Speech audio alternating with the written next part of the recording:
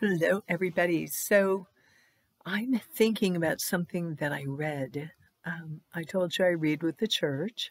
And so in the Office of Readings yesterday, and I'm still thinking about it, there was something really a kind of amazing description of Eucharist. So yesterday's reading was a sermon from Saint Peter Chrysologus. Chrysologus means golden tongue, I guess known for his preaching and all of that, sad that only a handful of his writings have remained, and this is one of them.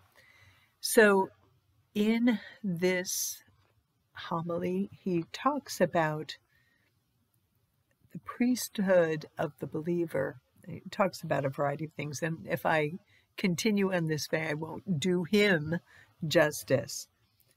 What I want to do is talk about the way he has distilled the sacrifice that Jesus has done on the cross for you and me. So we know that every time we go to Mass, what Jesus did on the cross happens on the altar in front of you and me. That is what Eucharist is. And so, in the words of St. Peter, Chrysologus, so we don't mix up who I'm talking about, but in the words of St. Peter,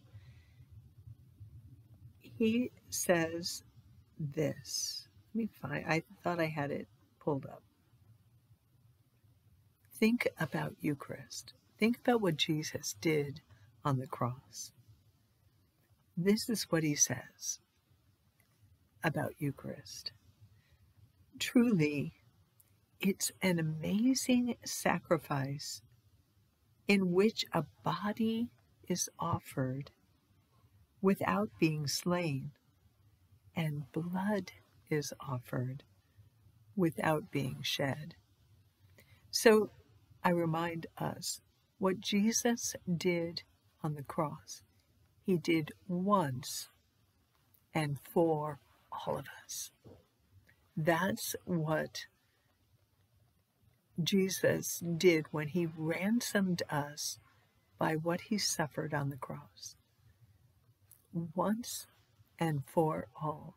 And that once and for all sacrifice is Eucharist. So every time our priests consecrate the bread and the wine.